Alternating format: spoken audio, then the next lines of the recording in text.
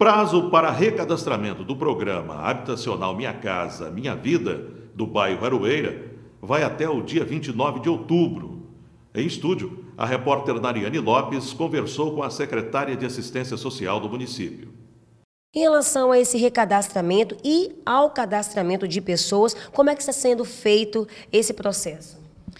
Então, nós iniciamos, né, no dia 11 deste mês, a chamada para o recadastramento. Essas famílias que foram chamadas para o recadastramento foram famílias que já foram é, contempladas em programas habitacionais, né, já tinha saído a listagem publicada, né, mas como o empreendimento demorou para entrega, pela portaria a gente tem que chamar essas famílias para o recadastramento para que a gente possa, consiga conduzir esse processo para verificar se a realidade vivenciada por essas famílias já modificou.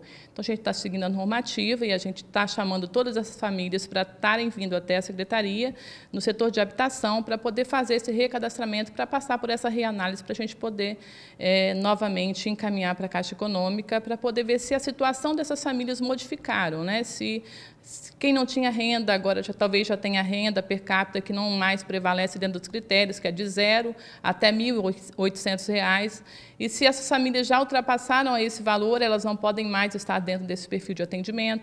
Talvez alguém que esteja ali já conseguiu ter a sua residência própria, então também já não tem mais o perfil para esse tipo de atendimento.